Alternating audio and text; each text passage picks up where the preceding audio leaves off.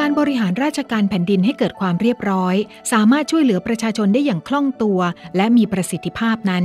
รองนายกรัฐมนตรี 5 ท่าน ได้รับมอบหมายให้กำกับและติดตาม การปฏิบัติราชการในภูมิภาค ตามคำสั่งนายกรัฐมนตรีที่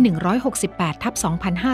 2562 ในเขตตรวจราชการ 18 เขตทั่วประเทศ โดยรองนายกรัฐมนตรี นายสมคิดจาตุศรีพิทักษ์ เป็นผู้กำกับและติดตามการปฏิบัติราชการในเขตตรวจราชการที่ 2 เขตตรวจราชการที่ 8 เขตตรวจราชการที่ 12 และเขตตรวจราชการที่ 17 รวม 16 จังหวัดมีกรอบวงเงินงบประมาณ งบกลาง รายการเงินสำรองจ่ายเพื่อกรณีฉุกเฉินหรือจำเป็น ตามอำนาจของรองนายกรัฐมนตรี นายสมคิดจาตุศรีพิทักษ์ในการอนุมัติให้แก่หน่วยงานของรัฐ เพื่อแก้ไขปัญหาอย่างเร่งด่วน ประจำปีงบประมาณพุทธศักราช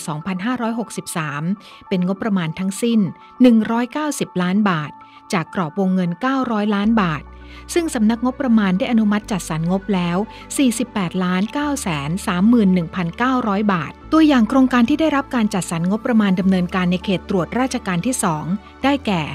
โครงการก่อสร้างถนนคอนกรีตเสริมเหล็ก บ้านคลองโตนุ้ย พร้อมท่อระบายน้ำเขื่อนคอนกรีตเสริมเหล็กกันดิน พร้อมราวกันตก พร้อมสะพานคอนกรีตเสริมเหล็ก หมู่ที่ 2 ตำบลขุนศรีอำเภอไซน้อย จังหวัดนนทบุรี ได้รับอนุมัติงบประมาณโครงการทั้งสิ้น 11,437,100 บาท เพื่อปรับปรุงถนนที่เป็นหลุมเป็นบ่อ ใช้งานมาเป็นเวลานาน ให้เป็นถนนที่ได้มาตรฐาน คงทนแข็งแรง เพื่ออำนวยความสะดวกแก่ประชาชน โครงการปรับปรุงถนนเมืองปทุมธานีเฉลิมพระเกียรติตำบลหลัก 6อำเภอเมืองปทุมธานี จังหวัดปทุมธานีได้รับอนุมัติงบประมาณโครงการทั้งสิ้น 13 ล้าน3 5 3 0 0 0 บาท เพื่อปรับปรุงถนน บริเวณจากซุ้มประตูวัดรังสิตไปเชื่อมต่อถนนสาย 345 สายซ่อมสร้าง ระยะทางรวม 2.2 กิโลเมตร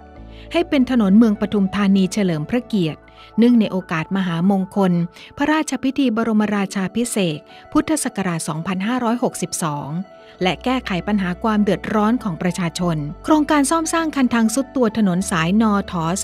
3015 แยกทางหลวงหมายเลข 346 ถึงบ้านคลองญี่ปุ่น อำเภอบางเลน จังหวัดนครปฐม ได้รับอนุมัติงบประมาณโครงการทั้งสิ้น 4 7 9